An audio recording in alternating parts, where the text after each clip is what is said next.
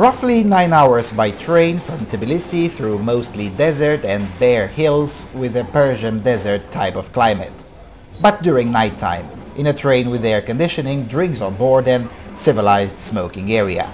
So it's not that bad. Welcome to Yerevan. Let's explore.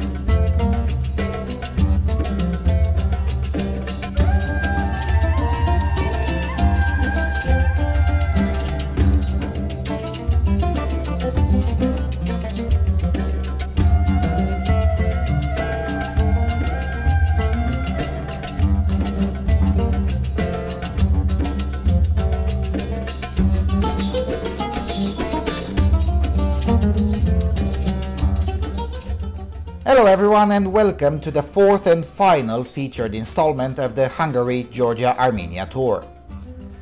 Oh Yerevan, just a few more kilometers south and you're in Turkey, or a few extra kilometers southeast and you're in Iran. This city is basically the last bastion of the Western civilization before the emptiness of the Middle East begins. You can see it even inside the city. The more south you go into the city, the fewer the elements of European civilization are noticeable. Geography really doesn't help this place either. As Dr. Thomas Sowell explained in Wealth, Poverty and Politics back in 2015, geography is an immutable factor that has serious implications on long-term poverty and economic performance in general. This is very clear at every step when you're in Armenia. Located right next to Turkey, which Armenians regard as Western Armenia or occupied territory, more on that later, and also next to the Islamic Republic of Iran and also next to Azerbaijan, Armenia is a place that is geographically locked. The border with Turkey is completely closed. So is the border with Azerbaijan. Trade with Iran is rather limited. So the only way to get to Armenia is through Georgia, which is the only neighbor that did not try at some point in time to exterminate all of the Armenians or try to steal some of their land. Once you understand that, it becomes much easier to grasp why Armenia is by far the least economically developed country of the entire area or why Yerevan, most of the time, doesn't have the air of a capital city. Finding a grocery store outside the central area is hard because they don't exist, and most of the neighborhoods are rarely, if ever, visited by the tourists. And not because they're dangerous or anything, they really aren't, because I went there, but because there's nothing to do there. So the locals are quite surprised to meet tourists in those areas. With that said, there's no way you'll tell an Armenian you need help and leave empty-handed. They'll go out of their way to help you, and at the end, they will thank you for visiting Armenia. And of course, they'll recommend you to taste some of their alcohol. But more on that later. By the end of this video, hopefully you'll be planning to come here as well. As was the case with Georgia, this country comes with a shockingly low point when you first get in, and by the time you're due to leave, you're already doing the math in your head to see how fast you can get back here and spend more time in this place. Clearly, three days here were nowhere near enough.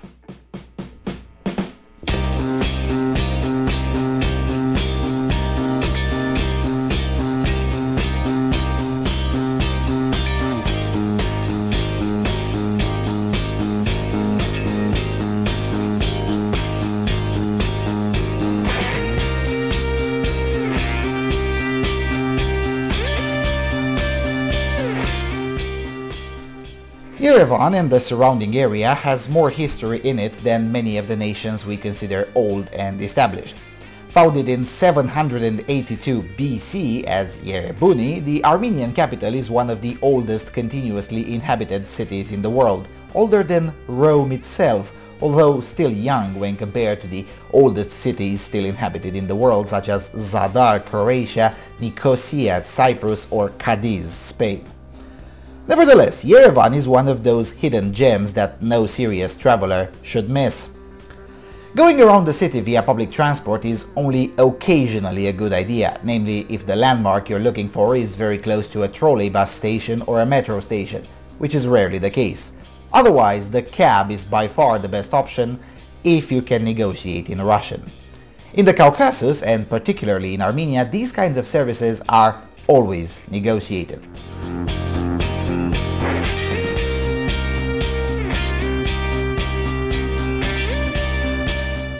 So for the first landmark, the Armenian Genocide Memorial we'll take the cab from the city center at the Republican Square or Ploshchad Respubliki in Russian or locally the Khraparak, if you can remember that name, which I couldn't. So this is where you'll get uh, the best taxi fares to go up on the hill where the memorial is located. Oh and yeah, everything interesting is up on a hill somewhere. This is one of the reasons the city survived almost 3000 years because it was well defended naturally.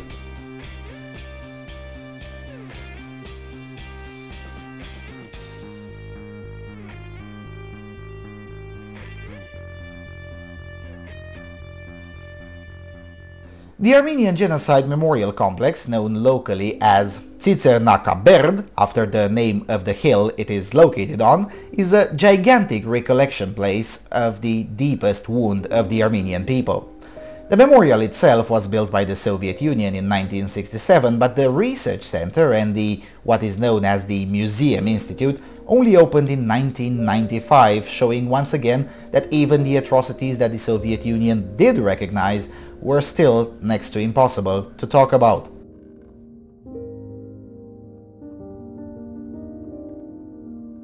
The Armenian Genocide is the series of actions taken by the Ottoman Empire against the Armenian population which at the time lived in the falling empire between 1915 and 1923 when the late Ottoman authorities conducted a series of actions coming from deportation, mass murder, ethnic targeting and starvation specifically against the Armenian population of the empire.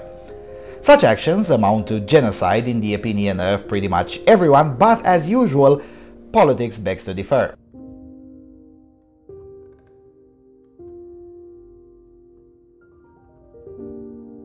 While the facts of the matter are not really contested by anyone, the use of the word genocide is still controversial in many circles, mostly for political reasons, which is really just a nice way of saying we don't want to alienate Turkey because Turkey is a NATO member. Although the Armenians were the most targeted uh, population in that period, other populations from the late Ottoman Empire suffered too, specifically the Assyrians and the Greeks, which many scholars consider as part of the same event, which also led to the designation of the 1915-23 events as the Other Holocaust or the Armenian Holocaust. It is difficult to overstate just how much of a negative impact this series of events has had on the Armenian people. Whereas up until 1915 Armenians were a thriving population, after the genocide the Armenian people became fractured, poorer than perhaps ever before, and for many decades barely acknowledged to even exist, though the latter is mostly due to the fact that the newly created Armenian Republic was soon absorbed into the Union of Soviet Socialist Republics.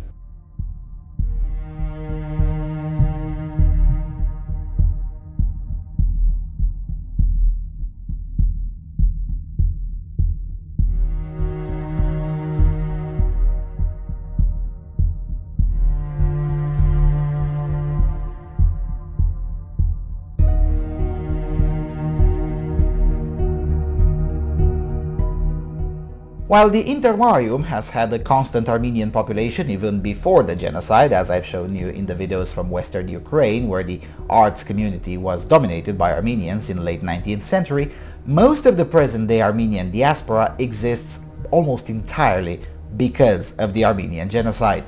So it is thus no surprise that this series of events is still heavily commemorated and remembered. There are still about 100 survivors still alive today all of them in the diaspora.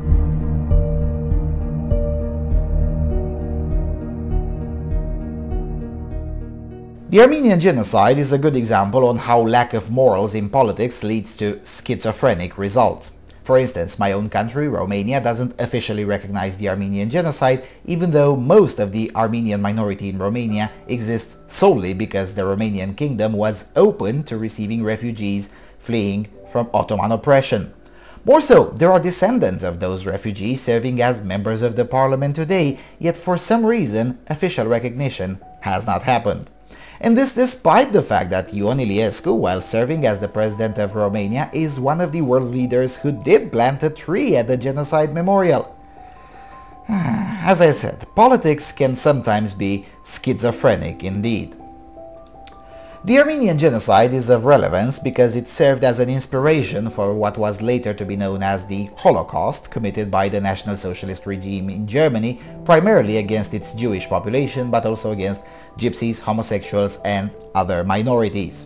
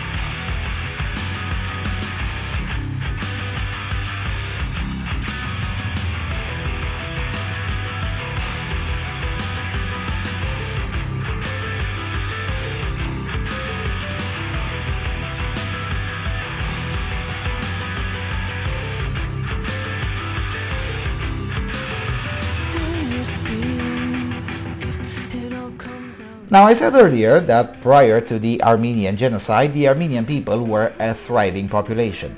Just how thriving we get to take a glimpse at the Matenadaran, officially known as the Mesrop Mashtots Institute of Ancient Manuscripts, named after the famous Armenian medieval linguist, theologian and statesman who also invented the Armenian alphabet as well as the Georgian alphabet and the Caucasian Albanian alphabet, which is no longer in use today.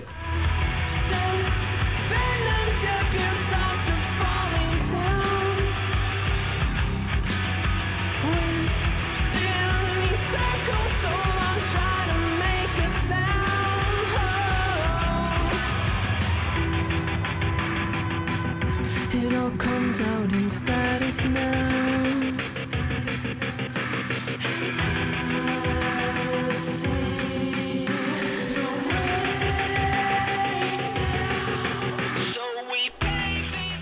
Institute of Ancient Manuscripts is not just a museum, it's a wholesome research center where manuscripts are being translated, restored and analyzed. And it's not just Armenian manuscripts either, it's also manuscripts from Persia or modern-day Iran, modern-day Kazakhstan, the Mesopotamian area and beyond, although the focus is, of course, on manuscripts written by Armenians. This place is totally worth visiting with the guided tour which are available in Armenian, Russian, English, Italian, Spanish, French, German and Arabic language. Taking pictures inside is essentially not allowed because the no flash rule makes it impossible to take proper pictures, but videotaping is allowed for a fee of about $6 per person. The variety of manuscripts available tell the story of how advanced the Armenians were compared to other peoples at identical points in history. There's manuscripts on geometry, philosophy, history, medicine, literature, art history, cosmography, and of course, theology. And by theology, I don't just mean translations of the Bible or later on the Quran, but treatises on theology and books which are part of the long debates that occurred in this area of the world following the First Council of Nicaea, the First Council of Constantinople, and the Council of Ephesus. Many of these manuscripts contributed to how the Christian doctrine ended up being interpreted by essentially the whole of Christendom. Please bear in mind that all of this is pre-1054 AD schism, so most of these documents are accepted even today by all traditional churches, namely the Eastern Orthodox Church, the Oriental Apostolic Orthodox Church, the Roman Catholic Church, and the Assyrian Church of the East.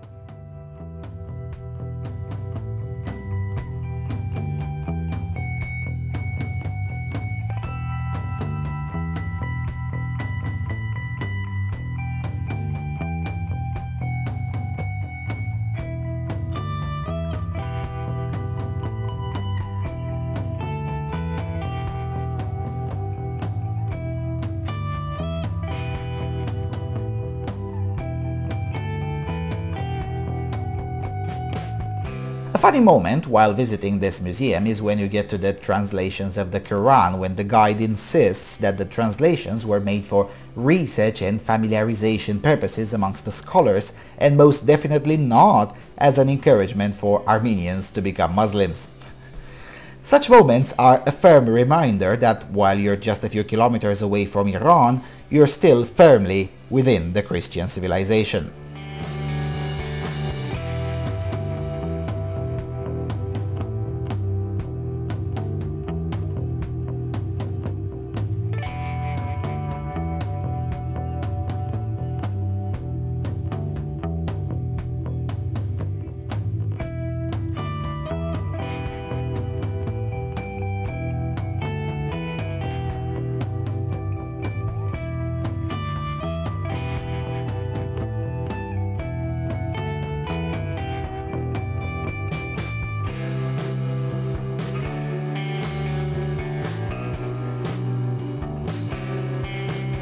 Place is considered the central Matenadaran, as the guide explained to me, whereas other places with ancient manuscripts, also called Matenadaran, exist essentially in every place in the world where there is an Armenian presence. That's how I found out that there are quite a few of such places right here in Romania, although none in Hungary, as apparently the Armenian presence didn't last long enough there to establish one.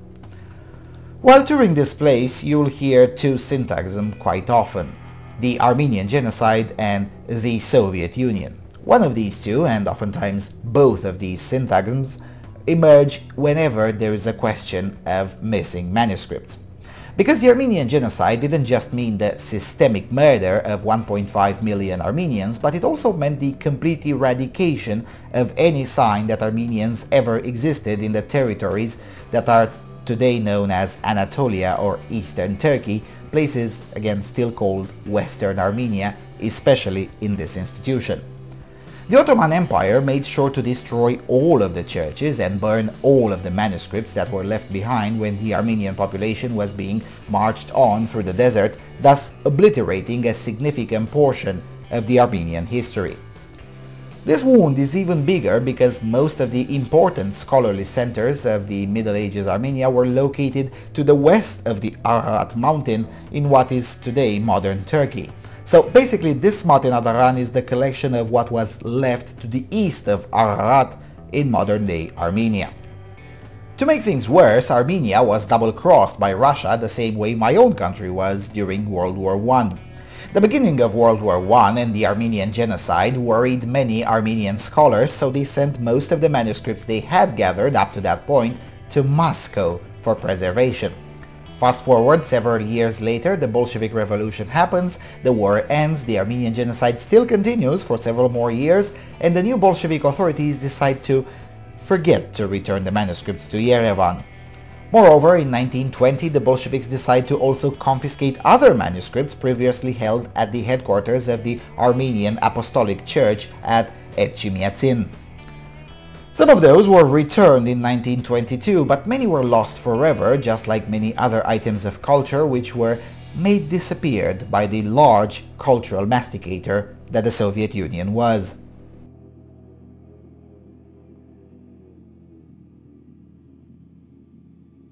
A proper visit to the Mashtots Matenadaran will take you at least three hours, but it is totally worth it because you'll learn more about Armenian history than the National History Museum, which not only completely forbids videotaping and photography, but also lacks guided tours.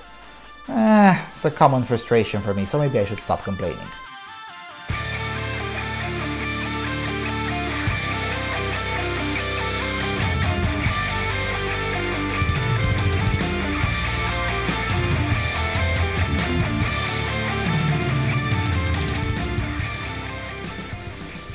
At the exit of the Matenadaran, there is also an open-air display of the Armenian alphabet, which, as a strictly personal opinion, looks much easier to learn than the Georgian one.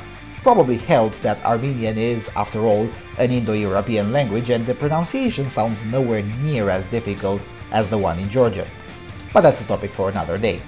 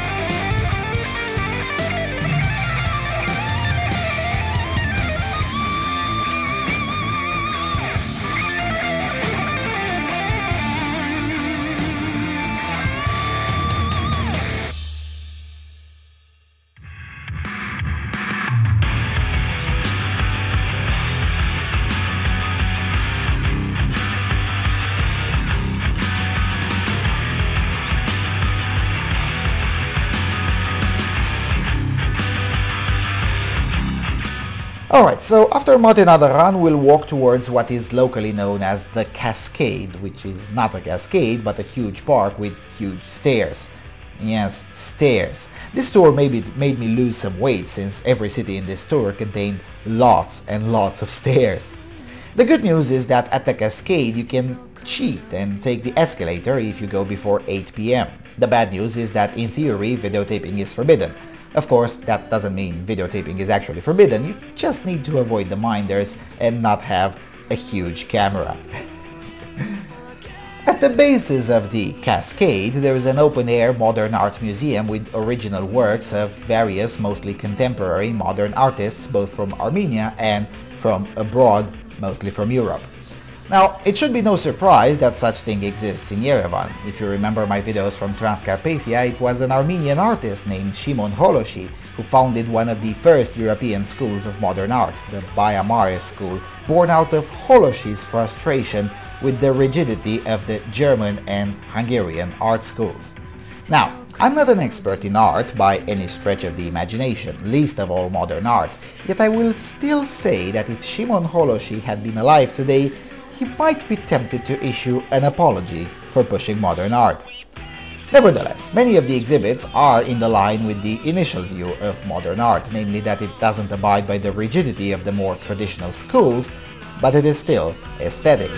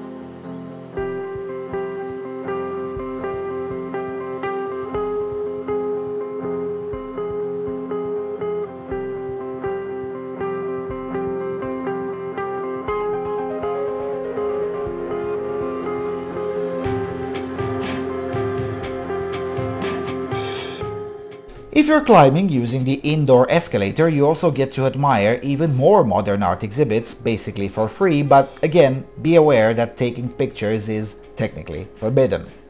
Climbing up the whole cascade is totally worth it for the view and it also shortens the trip towards the Victory Park. Admittedly, not the most mainstream route as I had to walk next to a busy highway without a sidewalk, apparently nobody really just walks up to the Victory Park, but still a good choice since I wanted to cram as many landmarks as possible within the same day. Because again, allotting only three days for Yerevan was clearly a mistake, though the budget had a lot to do with it.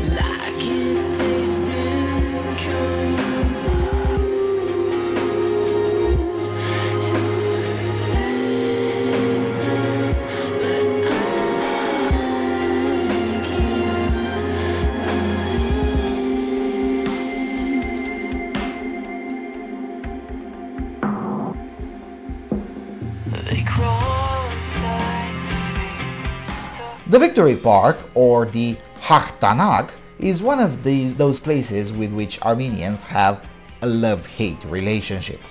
On one hand, it's the park built by the Soviet Union to prop up its might amongst the Armenians, including by putting a huge statue of Stalin in the middle of it, and on the other hand, it is today one of the large spaces where you can take a walk in the extremely hot, hot days, which is every day during August when I was here, that has also been made friendly for families and children while most of the communist symbols were taken apart. Ish.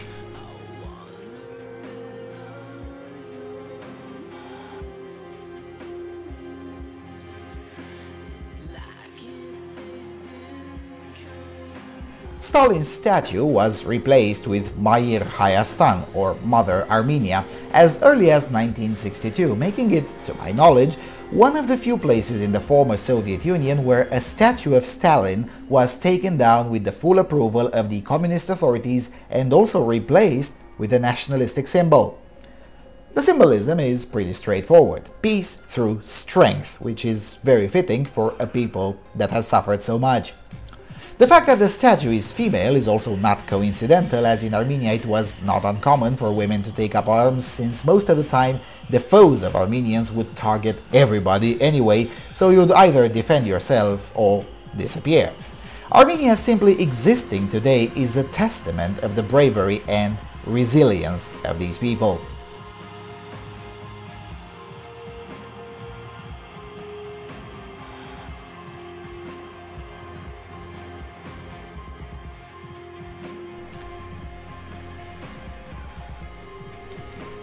From up here you get an even better view of the whole city and if you happen to be here during the sunset, it's just lovely. Also from up here it becomes more obvious just how old Yerevan is, with parts of the city having an obviously previous era layout, while others resembling more with other former Eastern Bloc cities.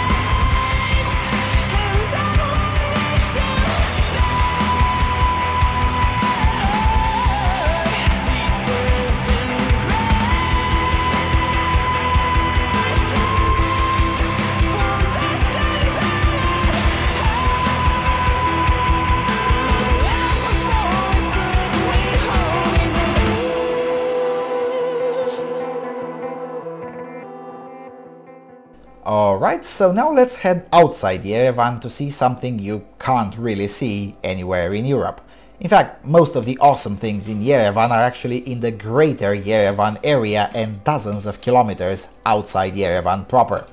To someone traveling like me, that's quite a problem since Armenia only recently opened its borders for foreign tourists, so there isn't yet a proper organized and reliable public transport option to most of these landmarks. So you're left with either renting a car or booking a tour, both pretty expensive as options because fuel is brutally expensive in Armenia. Moreover, as a solo traveler, booking tours is quite pricey because the private services that do exist are geared for tourists who travel as a group of at least three or four people. But what can you do? So I booked a selected custom-made smaller tour that fit my budget and included the exact two things that I promised in the fundraiser. So the first stop is the Garni Temple in the village of Garni, about 25 kilometers from Yerevan city center. The Garni Temple is an Ionic temple and the only standing Greek or Roman colonnaded uh, building in Armenia and the former Soviet Union in general.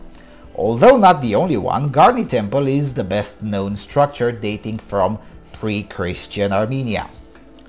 As a short reminder, Armenia is the first country in the world to adopt Christianity as a national religion in the year 301 Anno Domini. The Garni temple was first uh, built by King uh, Tiridates I around the year 80 AD, that is 80 Anno Domini.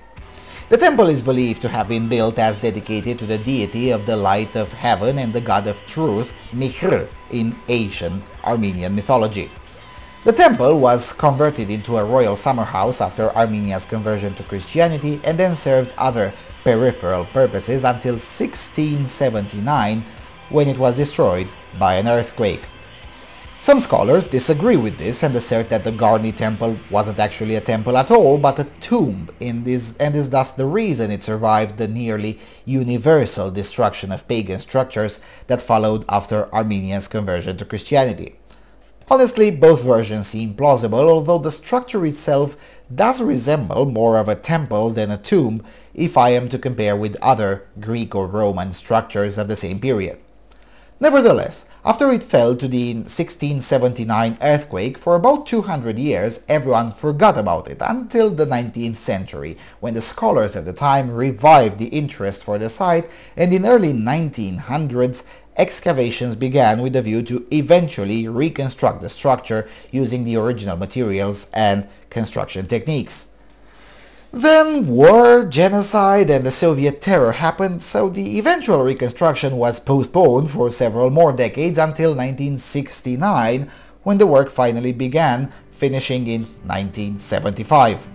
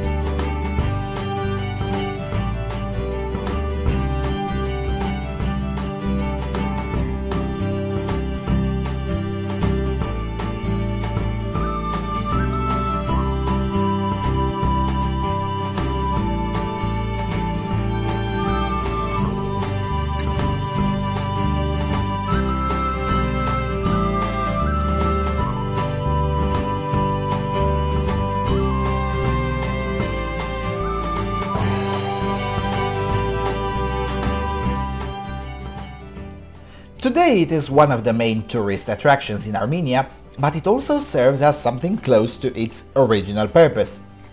Few people know that Garni is the central shrine of Hetanism, which is a reconstructionist neo-pagan religion meant to constitute an ethnic religion specifically for Armenians. Hetanism, or the Order of the Children of Arai, was founded in 1991 as one of the many efforts of national reawakening after the collapse of the Soviet Union. Make no mistake, Hetanism is not some edgy hippies in a corner believing they're so cool or anything like that. no, no, no. Ashot Navasardian, the founder of the Armenian Republican Party, which is the political party in power today in Armenia, was a Hetan. Former Prime Minister Andranik Margarian was also a sympathizer and helped with the publishing of the first modern version of Hetanism's Book of Vows. Pagan festivals are being held here, particularly on the Pagan New Year, which is on March the 21st, and also during summertime on Vardavar, or the Water Day, a tradition that has also been included into Christianity, but has a much older pagan tradition. Just like Christian Armenians take their orthodoxy very seriously, so do the Armenian pagans, who also take their Reconstructionist religion very seriously. Eh, it's a very long story and an interesting topic for those who take religious studies seriously.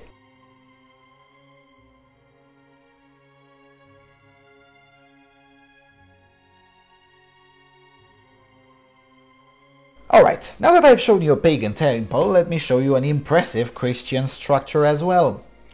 When I said on social media that you don't get to see anything like this in Europe, people rushed to show me examples of churches carved in mountains. Kids, please, none of those in Europe are even remotely comparable with the Geghardavank or the Monastery of the Spear, named after the spear which had wounded Jesus at the crucifixion, allegedly brought to Armenia by Apostle Jude, in Armenia known as Thaddeus, and stored amongst many other relics.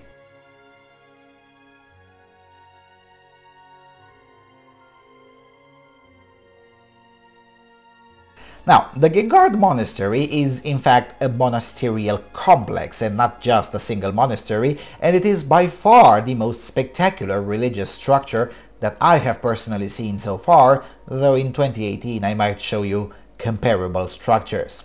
The whole area is a UNESCO World Heritage Site and for good reason. The main chapel was built in 1215 AD, but the monastery itself is founded in the 4th century by Grigor Lusavorich, or Gregory the Illuminator, the patron saint and the first official head of the Armenian Apostolic Church.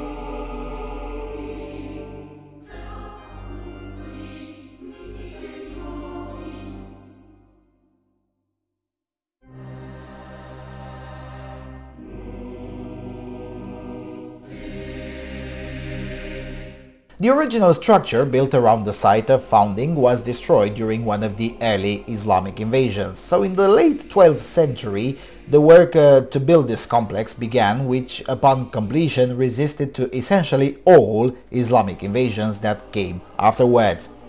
The complex contained several churches and even churches within the churches which throughout the centuries served as places of hiding and worship while the Islamic forces were raiding the area.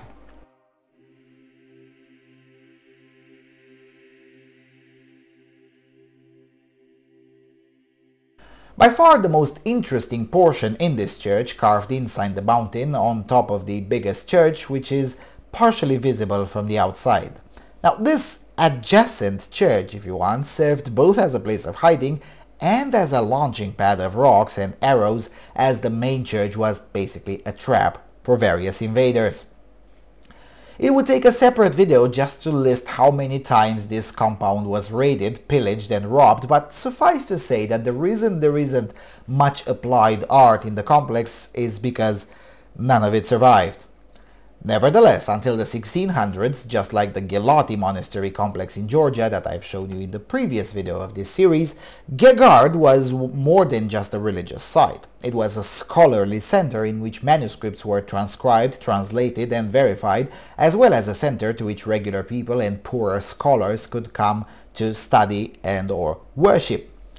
Moreover, until mid-17th century, Geghard was also routinely patronized by the nobility, not just with money, but also with ancient manuscripts from various private collections that were donated for the purpose of further study and scholarly work. In a way, the role of a deposit of old Armenian artifacts has been revived with the bringing of these copies of Khachkars, tombstones, from the Armenian cemetery in Yulfa, previously located in the Nakhchivan exclave of Azerbaijan. The Yulfa cemetery originally housed around 10,000 funerary mo monuments. The tombstones consisted mainly of thousands of Khachkars, uniquely decorated crossstones characteristic of medieval Christian Armenian art. That particular cemetery, being on the territory of Azerbaijan, was destroyed in mid-2000s by the Azerbaijani authorities and turned into a military shooting range. Eh, long story, I won't get into that controversy this time. Suffice to say that a visit to Geghard, and Garni for that matter, gives you a much thorough and lasting image of just how old the Armenian civilization actually is and just how profound the Christian identity indeed is in this country. In many ways, if you're an admirer of Christian civilization, you're much more home in Armenia than you are in Sweden. And I say this after visiting both countries during the summer of 2017.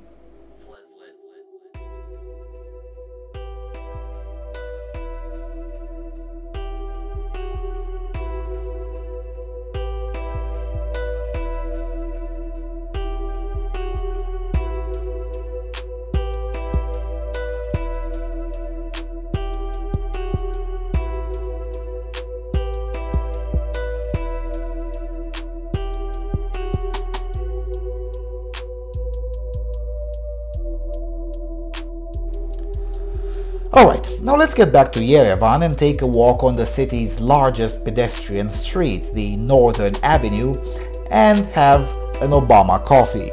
No, seriously, I'm not joking.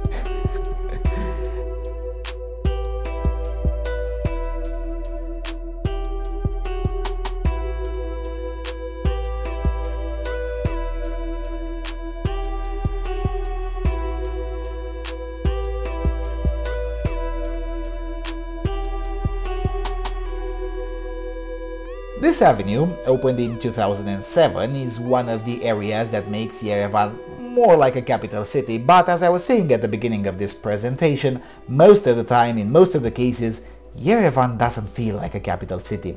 And that's not necessarily a bad thing, although it does speak a lot about the economic hardship of the country, mostly due to the geographical and geopolitical situation in which Armenia finds itself in.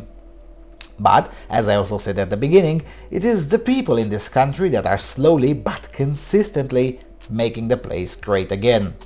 A lot less warm and open than the Georgians, everyday Armenians come off as fundamentally good people who've been through a lot. A long walk through Yerevan will not reveal a depressed people, but a people that is cautiously optimistic at best which makes perfect sense since although things are getting visibly better, there are still reasons to abstain from unfettered optimism. Transportation is still in its infancy. The Yerevan Central Railway Station features exactly two trains, a local train that takes one close to the border with Iran and the train I used to get to, into Armenia. A night-long range train that goes from Yerevan to Batumi in Georgia at the Black Sea.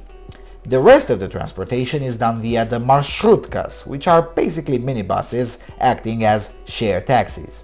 Maxi taxi as they're known in the Intermarium.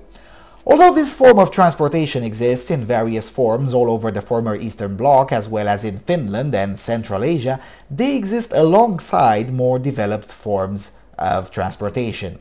In Armenia, for now at least, the marshrutka remains the main form of public transport, especially considering that fuel is expensive in Armenia, again mostly due to geopolitical reasons, and thus car ownership is still quite low. With that said, the future of Armenia looks much brighter than, for instance, France's. Armenia ranks way ahead France, Italy, Portugal, Spain or Greece in terms of economic freedom. In fact, out of the countries of the former Eastern Bloc, only Latvia and Lithuania are ranked better than Armenia in terms of economic freedom, all three of them being in the mostly free cohort. The roads are also in a remarkably good condition. Also, the service sector is getting visibly better day by day and there is a growing financial sector as Armenia is one of the few places completely open for investment for both Eastern and Western investors. The government takes an entirely laissez-faire attitude to most things. For instance, the government doesn't even keep track of how much the private sector spends on research and development, except military research, of course. To make things even better, Armenia is experiencing sustained population growth with essentially zero immigration and minuscule levels of emigration. Like all other countries in the former Eastern Bloc, Armenia has suffered a sustained population decline following the fall of the Soviet Union, mostly due to emigration, but all that trend was reversed in the last seven or eight years, and alongside the development of private healthcare, life expectancy has also dramatically increased. And last but not least, a dedicated diaspora, which is and will continue to be for the foreseeable future part of the process of building a superior future for Armenia. The Armenian diaspora counts on at least 8 million individuals, 1 million just in the United States alone, far outpacing the population of 3 million within Armenia itself. And for the most part, that diaspora does look after its home country and that's something to keep in mind when thinking about the future of Armenia. Sure, it's far from perfect and there's a lot to be done, but for the first time in the last 100 years, there is also the possibility of doing, something which the Armenian people lacked for the last 100 years or so. I for one am glad I got to see Armenia now as it is beginning its transformation and as I said at the beginning of the video, clearly three days here were nowhere near enough and I do hope I'll get to come back to Yerevan and spend more time in this country.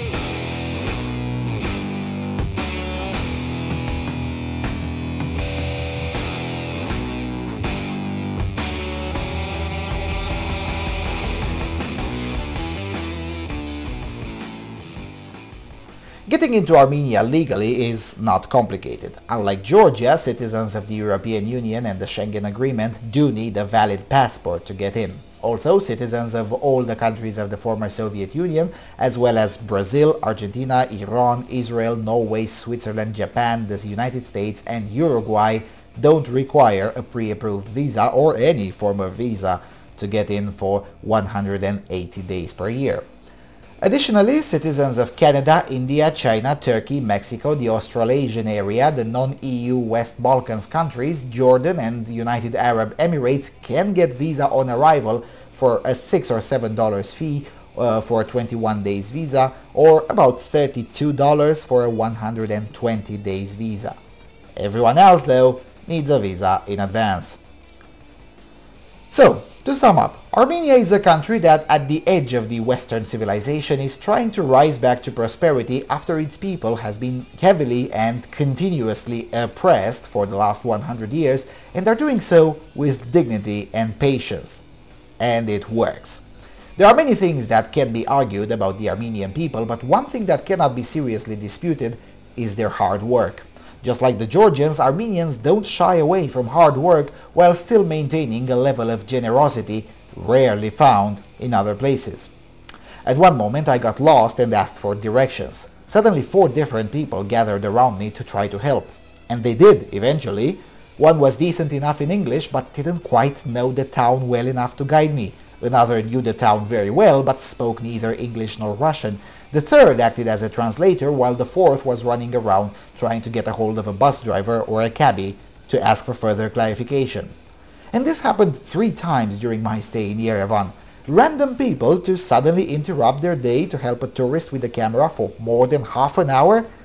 That's not common in my long experience as a solo traveler to places where no one else goes. So it is thus my conviction that it is the hard work and the generosity of the Armenian people that I got to experience firsthand that will be the main engine of, well, making Armenia great again.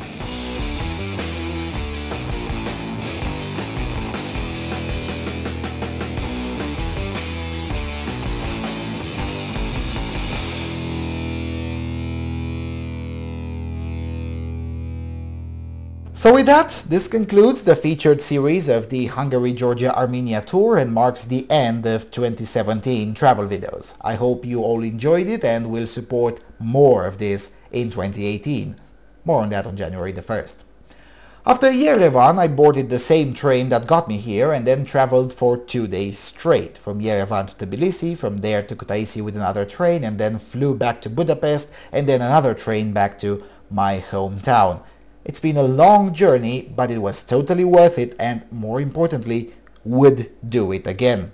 And likely will do it again. So with all of that being said, thank you all for watching. Thank you to all of those who supported this tour and the general work that we do here on Freedom Alternative.